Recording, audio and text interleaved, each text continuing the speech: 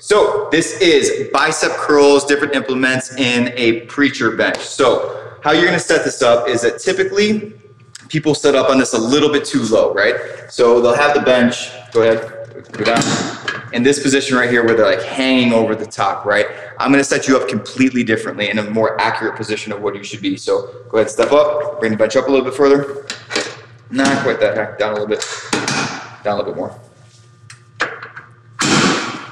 So where you should be is actually more tucked up top into this position right here, elbows at the top and extending all the way down here. This should be your range of motion, okay? Going full extension. You don't want to be leaning in, you don't want to be swinging. You want to keep your shoulder blades tucked down and back, sit tall, bring your hips forward, engage your abs for the entire motion. He could actually probably even go a little bit higher than this. So go ahead and grab